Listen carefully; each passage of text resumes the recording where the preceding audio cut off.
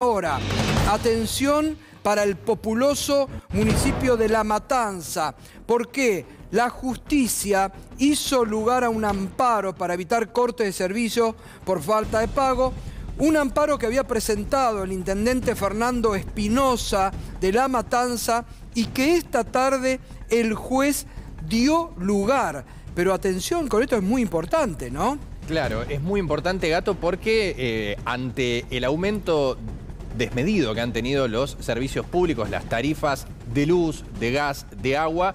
Muchos hogares llegan con la soga al cuello a la hora de pagar las, las boletas. Muchos no llegan a pagarlo. Algunos lugares del país han dado la posibilidad de hacer eh, pagos en cuota y esto genera una, rueda de endeudamiento. Bueno, ¿qué es lo que pasa? Si no pagás la, boleta de luz, de gas, el, el servicio van y te lo cortan. Bueno, con este amparo que consigue el municipio de La Matanza, quedan suspendida la posibilidad de ejercer cortes por falta de pago, dice, hasta que se establezcan tarifas que sean accesibles para los hogares. Bueno, es un primer impacto en el distrito más poblado de la provincia de Buenos Aires, en, el municipio más grande del país, que, eh, bueno, hay que ver si esto después tiene derivaciones en otras Y puede tener, claro, puede tener esto, ¿no? Porque cuando se empieza... Es importante además lo que dice, el amparo protege a las familias, parroquias, templos evangélicos, comercios, clubes de barrio,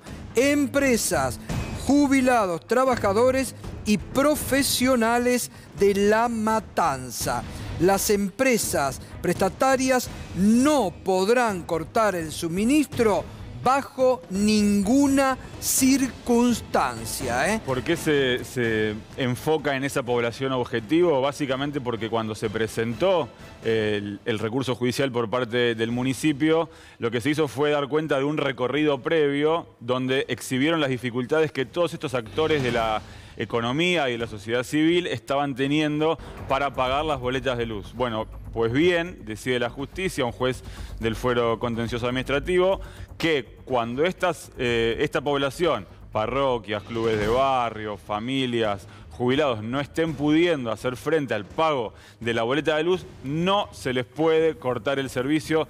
Esto es hasta tanto se defina una tarifa justa y razonable. Cuando decimos justo y razonable nos referimos a que tenga que ver con lo que se consume, pero además tenga que ver con lo que se puede pagar. Porque si la tarifa se vuelve impagable, vas a tener un apagón en todo el municipio. Bueno, ahora están protegidas, eh, está protegida esta población objetivo y la justicia tendrá que determinar en, una, en un fallo de fondo cuál es ese, esa tarifa justa y razonable, por supuesto con intervención de las partes. Bueno, muy importante porque vemos todos los días acá en este programa, vemos la queja de clubes de barrio que deben cerrar sus puertas, no pueden pagar los comercios. Lo vemos todos los días, los comercios no pueden, es impagable las tarifas. En esto el gobierno tiene que empezar a atender, tiene que mirar un poquito, escuchar porque en el marco de la recesión tremenda que se vive, no se puede. Así que es muy importante esta cautelar que había presentado el ministro y que hoy la justicia acepta. Me está llegando mucha información.